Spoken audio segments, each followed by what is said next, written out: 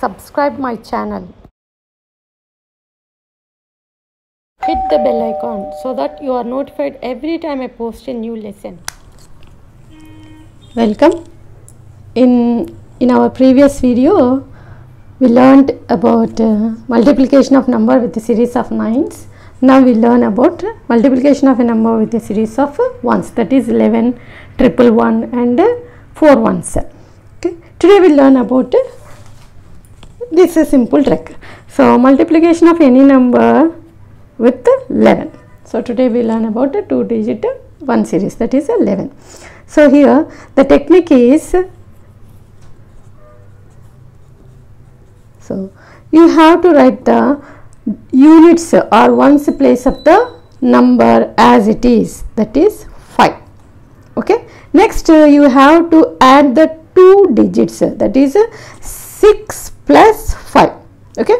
So what is the answer? 6 plus 5 11 okay? You have to take the units uh, place 1 here and uh, and you have to carry this to the next one. Next you have to write the second digit uh, plus uh, carry a number? That is 6 plus 1 7 so the answer is uh, 715 okay? So let us see simple example 24 into 11 okay? Here you have to take the units place as it is. That is 4 as it is. Next you have to add 2 plus 4 that is 6 so next uh, 2 as it is. That is 264 so you can calculate in this way in a within seconds. So you can write the answer.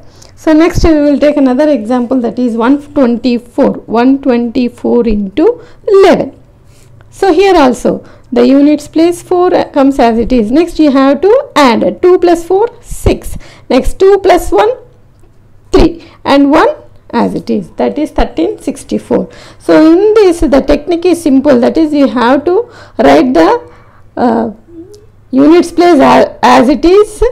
So that is a 4 here in this case. And you have to add 2 2 numbers each time. 2 uh, 4 plus 2 6 then 2 plus 1 3 then you have to write the 1 as it is. Okay? Next uh, another example you will learn easily. 695 into 11 so here the first uh, units place 5 9 plus 5 14 so 1 carry over. Okay 14 9 plus 6 15 15 plus 1 here. That is carry 16 okay next uh, 6 plus 1 here that is 7645 is the answer. Like this you have to you calculate with 11 any number with 11 so i will give one example. You have to calculate it and write it in the answer in the comments okay? So this is the one.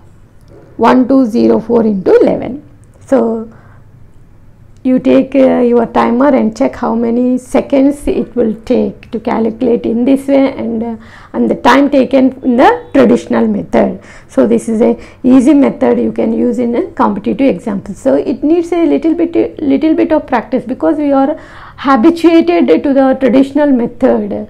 So from you have to train your brain uh, in this way so that uh, you can calculate mentally these problems so, so this is the greatness of the vedic mathematics. In our next video we will learn about uh, how to multiply a number with uh, three digit uh, ones. That is a one series uh, one one triple one. Until then happy studying